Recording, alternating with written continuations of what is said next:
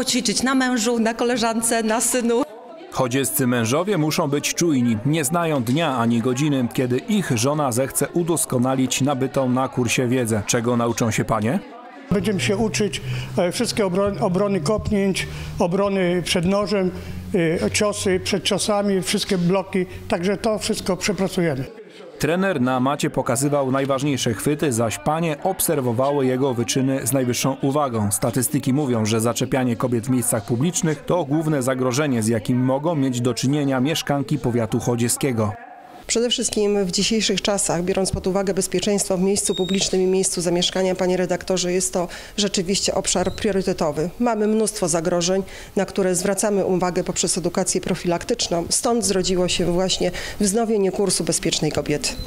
Kurs składa się z trzech spotkań, zarówno praktycznych, jak i teoretycznych. Za uczestnictwo w zajęciach kobiety zostaną nagrodzone certyfikatami. Najważniejsze jest jednak to, że nauczą się technik, które mogą uratować im zdrowie, a nawet życie.